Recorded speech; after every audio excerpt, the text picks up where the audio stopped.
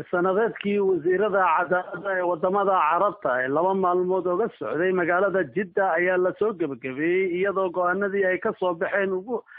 ay ugu horeeyeen sidii soomaaliya loogu horumarin lahaa dhismaha hay'adaha garsoorka iyo cadaaladda shirkaasi oo ahaa kii soddonaad ee waddamada carabta ayaa si weyn ay u muujiyeen baahida loo qabo garsoorayaasha soomaaliya sidii loogu tababari lahaa dalka dibaddiisa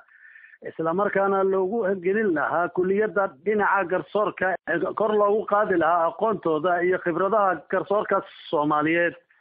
Daba shirkaasi ayaa ahaa mid si habsami leh u soo gabagaboobay una dhacay jawi aada u wanaagsan. Waxaa dhinaca soomaaliya u matalayay wakiilka soomaaliya u fadhiya xarunta ururka islaamka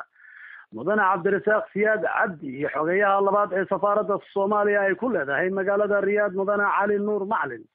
iyo mudane tawaab axmed maclin oo ahaa khabiir ku takhasustay arrimaha fiqiga iyo qaynuunka. Axmed carab warbaahinta qaranka soomaaliyeed jidda sacuudi arabia